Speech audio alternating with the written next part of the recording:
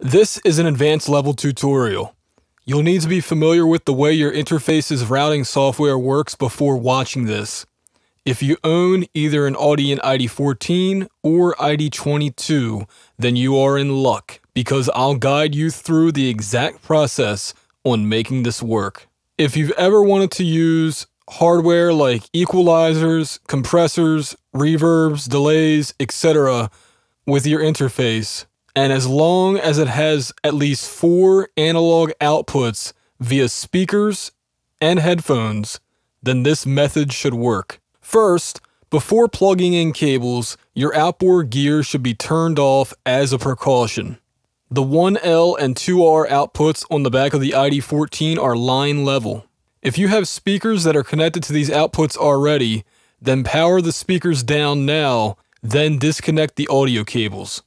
You must use cables with 1 quarter inch phone connectors with the ID14 or ID22 ideally of the balanced TRS or tip ring sleeve variety. The only hardware equalizer in my possession at the moment has RCA inputs, unfortunately. I also used adapters, which I do not recommend for professional usage. You'll also need to route the output of your hardware, in my case, stereo unbalanced TRS, to the inputs of the ID14. Luckily, I have an XLR to 1 8 inch phone connector cable and a 1 8 inch phone to 1 quarter inch adapter. For professional level gear, balanced quarter inch TRS and XLR are typical inputs and outputs. Next, set up your recording session to only output the track or tracks that you want to process through the hardware. The solo button comes in handy in large mixes. Gain staging is your next step. Analog hardware expects a level around negative 18 decibels full scale, so adjust your output faders accordingly. For this track, the largest output is around negative 0.7 decibels, but I can safely reduce it down with negative 18 just to be on the safe side. Next up, load your control panel software. Then go to File and save your presets. I'll call this casual listening. Next, change the main output to DAW through. Audient warns you that the output will be loud because indeed it will be, more than likely, so just hit OK. This is equivalent to raising the volume knob up here, but at this point, all the volume knobs do not work. Also, it's equivalent to putting this DAW 1 plus 2 fader to the zero position. If they aren't already, mute your mic 1 and mic 2 inputs, as I already have here, and also, just as a safety precaution, I like to put the faders all the way down to infinity. If you don't do this, a feedback loop will be created. Okay, so let's test how this thing's going so far. I'm gonna hit play and we'll see what shows up on the meters.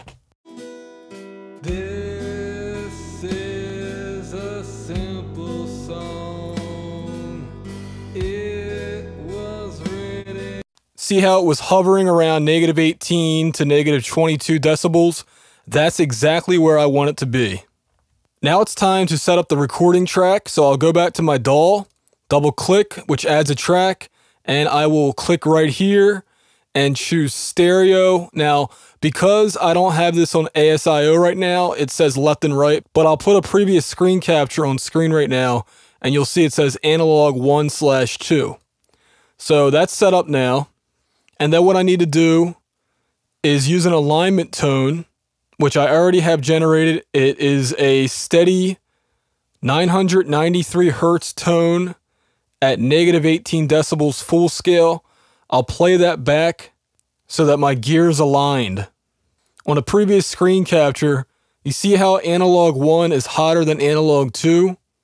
On my EQ output, I adjusted the balance knob ever so slightly until the input signals are nearly equal. To make this job a little bit easier, if you expand the meter by dragging right here on the edge and then going all the way You know, I can go all the way to the right if I wanted to, but usually about a third of the way or halfway is more than enough to make this alignment process more precise. After you do that, you can reset it to the smaller width. Now it's time to get the headphones involved. So back to the Audient software. Make sure your volume knob right here is all the way down. And then plug your headphones in. Next, set the headphone or phone's output to Cue, like so. First, drag your Cue Master fader all the way up. You can also just hit Alt and click, and it'll go all the way up. And then on mic 1 and mic 2, do the same. So I'll Alt click, and then Alt click one more time. There you go. Make sure that the Cue on DAW 1 plus 2 is all the way down. At this point, press the play button and you'll see me, I'm going to adjust my headphone output. Actually, I just noticed that my headphone is disabled. If you see, see how that button right there is lit in green? Well, it should be lit in green, so I gotta click it. Now I can adjust it once I start playing.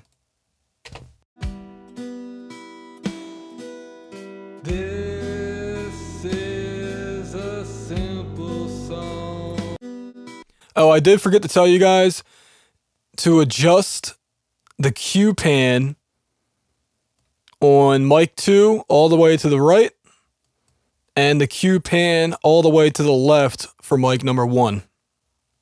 So at this point, it is time to make adjustments on your hardware. Hopefully you're using headphones that were designed for mixing, such as the Sennheiser HD600s or the Oppo PM-3. And speaking of which, if you are fortunate enough to own the plugins SonarWorks Reference and Waves NX, you can actually use those for monitoring. Now, in order to get those working, first you have to mute your cues on mic 1 and 2. And then you want to go over here to where it says DAW 3 plus 4. Make sure that's muted and the fader's all the way down like this because you don't want that outputting through the line level outputs. And then also make sure Cue is all the way left. And then uh, for that one, it's all the way right. And the Cue is all the way up. Again, if, if it's all the way down, you can just hit Alt and then click and it'll go all the way up. And then what you want to do is your DAW may not support it, but Reaper does. You want to go to IO. And then right here where it says audio hardware outputs, click this and I will show you on screen right now because right now, due to the screen capture software, I can't operate an ASIO.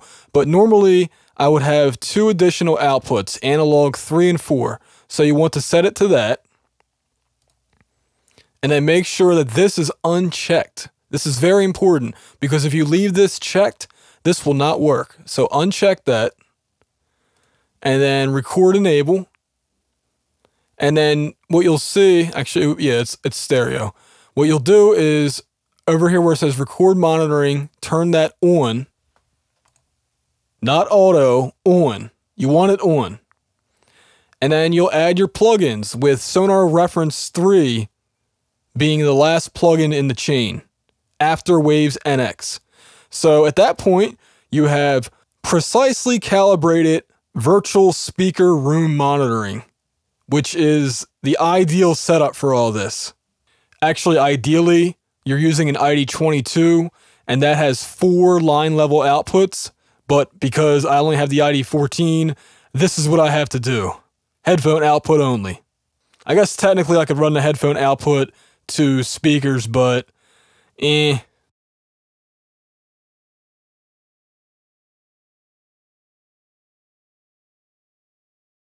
So anyway, yeah, after you make your adjustments, there's one more step you want to do before you print your track, which means you're recording it with hardware.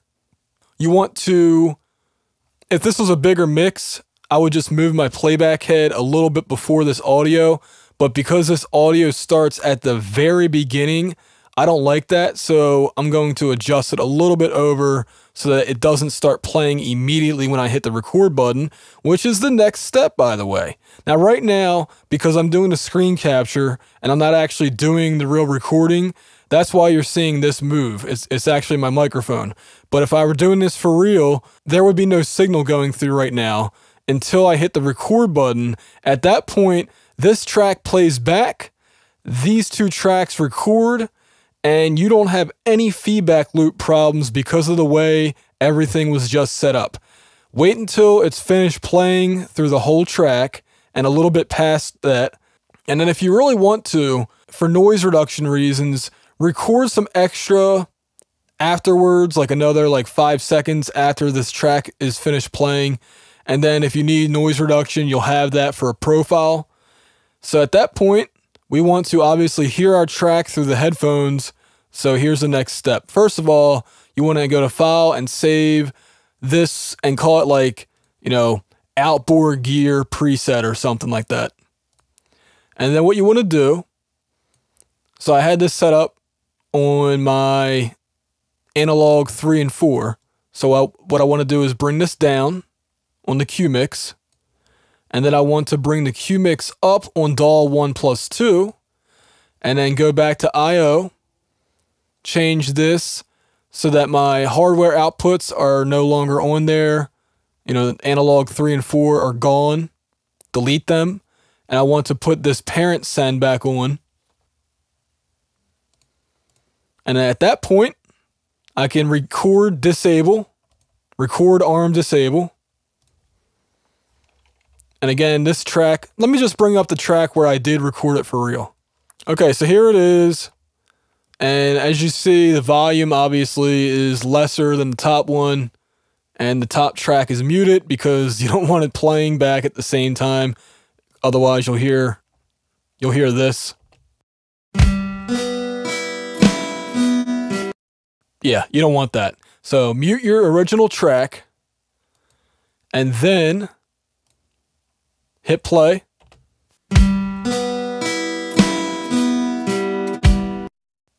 And that's it.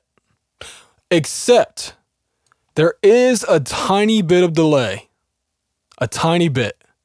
And this is where you're going to need to test your equipment out to see how much of a delay is in the signal.